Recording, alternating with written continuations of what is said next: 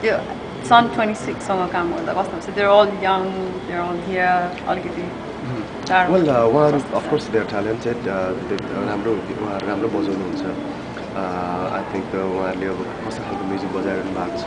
त्यो मलाई थाहा भएन जस्ट मेट देम अनि आउनसाथ सिधा अस्ति एयरपोर्टबाट आउनसाथ सिधा स्ट्रेट टु मेरो चाहिँ प्र्याक्टिस रुममै थियो Entry okay I didn't have chance to like होइन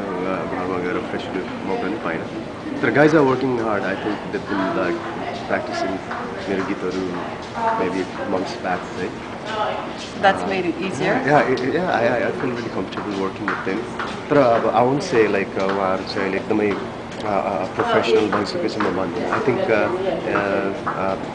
they might need some time to हुन्छ नि त्यो पर्फेक्सनमा आउनुलाई चाहिँ अलिकति टाइम लाग्छ सबभन्दा बेस्ट पार्ट चाहिँ मलाई के लाग्यो भने यसरी अब विदेशमा बसेर पनि अस्ट्रेलियामा बसेर बसेर पनि उहाँहरूले जुन एउटा टाइम